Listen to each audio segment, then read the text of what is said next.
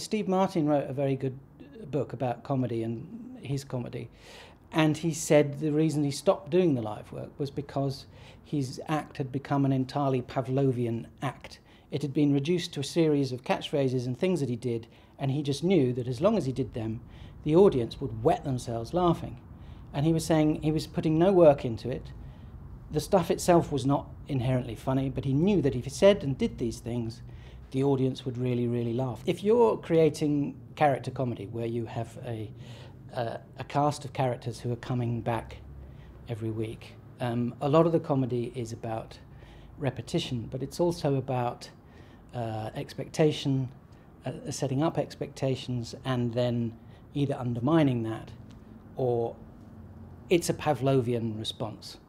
Um, the audience are waiting for the character to do the thing they know he's going to do.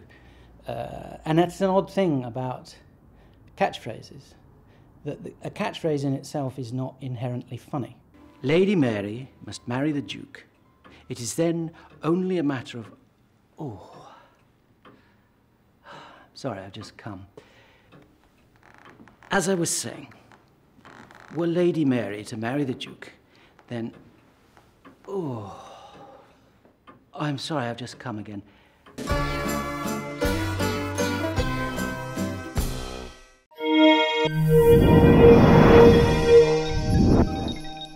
Get more from the Open University.